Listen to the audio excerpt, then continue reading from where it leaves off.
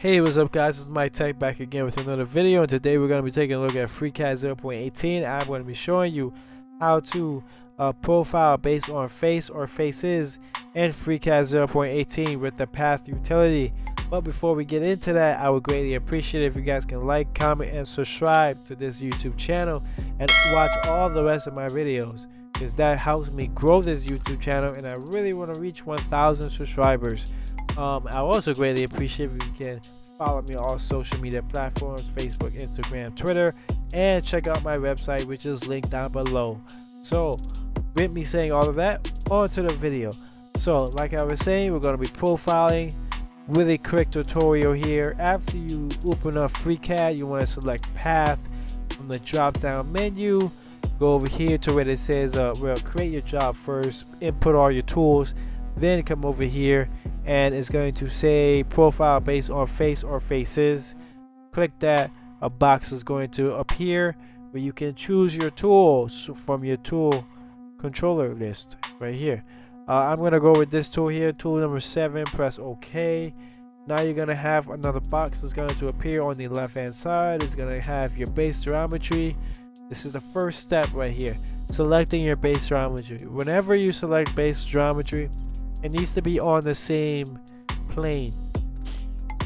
So basically you cannot you cannot select a top uh, a top face and then select a face that's on the side. It doesn't work like that. If you select a top face all the other faces that you select needs to also be on the top. So if I zoom in this here um, let me change here. Let me change this to cat this here counts as a face. Where my mouse is this hole down in here also counts as a face. So you can select any face that's on the same plane as the original face that you selected. If you select something on the side, you can select any other face that's on this side. Same thing goes for this side, this side, and also goes for the bottom as well. So there you go. That's how you select or that's the limitations of what you can and cannot select when it comes down to putting stuff inside this list of base geometries. And to select something to add it to this list is pretty simple. Select it is going to turn a, a very uh, light greenish color and then just press add. And then if you want to remove something just press whatever it is just highlight the with the name or whatever and just press remove and then clear just clears all the, everything that's inside of the list. So that's how you do that. Um, moving down to the next thing you have your depths now this is pretty uh, self-explanatory but I'm to go ahead and explain it to you anyway just for anybody who doesn't know. Um, start depth is where you're going to start so that is the thickness of the stock. This stock is about one millimeter above the part so it's going to start at one millimeter. Um, final depth is going to be zero because after you get down from this one millimeter after you cut down is going to be at zero which is going to be the top of the part which is that's where it's going to stop. Um, and then your step down basically determines how far it steps down for each cut. So I always change mine to 0. 0.2 that's where I like to cut at 0.2 um, that's gonna be my step down there. Um, if there's any other normal number uh, number here in this box most likely it was determined by the diameter of the tool that you have selected so the default step down is going to be the diameter of the tool. If the tool is 10 millimeters, the step down will be 10, 10 millimeters. Obviously, you probably don't want to keep it like that because that might break your tool. And you might want to change it, but uh, that's up to you. And like I said, to change it, you just click on it, or you click on this little blue thing here, and then uh, it's gonna open up, and then you just press OK, and then it's gonna be in there. So that's how you change that. On to the next one, heights um, basically you have your safety height and your clearance height. Safety height is pretty uh, basic. It's when it moves from one spot to another, there will be there's a certain uh, height that is going to retract up before it moves. That is your safe height, which for for me is three millimeters. So it will move up three millimeters before going over to the next um, profile or the next uh, operation. Um, your clearance height is normally when it moves from side to side. Um, well, from one side of the part to another side of the part or when it's changing between operations so let's say I do like a profile operation and then I go back and I do like a pocketing operation it will normally retract up um, 5 millimeters which is going to be my clearance height so it's gonna do the profile, and then after it's gonna do gets done doing the profile, it will retract up five millimeters, and then head over to the next operation, which for me will be more like a pocketing operation to cut out these holes. But that's what that is. Safe height is when it moves from spot to spot, and then clearance height is when it moves from one operation over to another operation, or one side of the part to another side of the part. So that's where your clearance height is. When it's making really big movements, it, it uses the clearance height. Um, next one here is basically where you select all the, the firing details here. So you got your tool controller. You can change all your tools here, whatever tool you want to use. Cut um, side is basically going to be either the inside or outside. We'll talk more about this later after we generate the path. Direction, clockwise or counterclockwise, that is not for the spindle.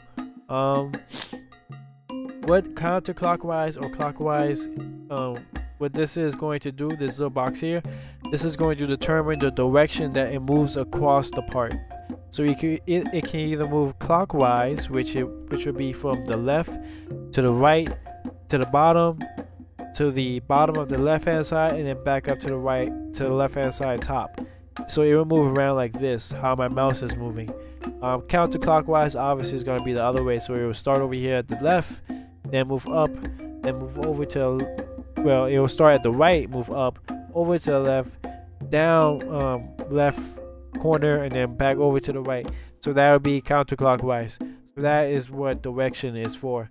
And then um, extra offsets if you want to implement any extra offsets. So if you want the the tool to be an extra one millimeter away from the corner or whatever you can put that in um, if you want to. I don't know why you want to but whatever though. Uh, start point basically that determines that where it's gonna start. So um, if you this is checked it will use the the um what is it, the origin. It will use the origin to start every time. So that's basically what that's for. I normally leave this unchecked because I don't need to use that for right now. Um, use compensation.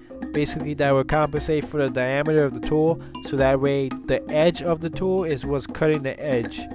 Um, if you don't use this, you will see that the center of the tool will be cutting the edge, which I will demonstrate later on in the once we generate the path.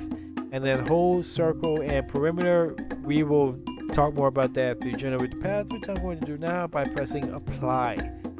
So after we press apply, now you will see that there is a little green line around the outside of this part right here. Now this is the path that has been generated. Now you don't see anything for these perimeter here or around these circles here. We're going to talk about that. So if you go to holes, press apply. Now you see that it, it has generated a path for all of these um, perimeters here, all of these edges here. It has generated a path. Now if you take and you do circles and you take off holes, you press apply, nothing. Now you don't see anything around any of these circles here, even though it technically it is a circle. Now, circle only works if there is a part that is protruding from the from the surface that you have selected. So we're going to do a profile on the top part. If there's nothing protruding up um, away from the top, then it's not going to do anything here. Circle, it does not circle does not do anything for these things here because this is not a circle this is a hole so if you want to do a perimeter here you want to collect you want to select hole not circle. So let's undo circle and then press hole and now you see that there is a path here. Um, use compensation. Let's unselect this zoom out and now you will see a big difference here when I press apply now you see that the green line is on the edge. So basically when I cut now it's going to be cutting with the center of the tool on the edge which is going to be doing the profile that way. Um, I don't like doing that. I like cutting with the edge of the tool on the edge. That makes more sense. It gives you a nice cleaner cut across this edge here. So I love using um, compensation for that reason. Um, and I think that's pretty much it. Perimeter is pretty self pretty self-explanatory. If you take off the perimeter, it's not gonna do a profile across this perimeter here. So that's what that right there is. But I'm gonna leave that turned on because that's what I need to do. I need to do a cut across the perimeter. So there you go. That is how to use the profile tool in FreeCAD Path 0.18. Um, I really don't think there's anything else left to really talk about. I think I talked about everything so far. Um, so yeah, that's it. I uh, hope you guys enjoyed this quick little tutorial here. Um, if you did, like, comment, and subscribe to see more videos just like this one. And uh, like I said, I would greatly appreciate if you can follow me on social media platforms Facebook, Instagram, Twitter, and check out my website and check out the rest of my videos. So yeah, that's gonna be it for today. Yeah, peace out. Bye.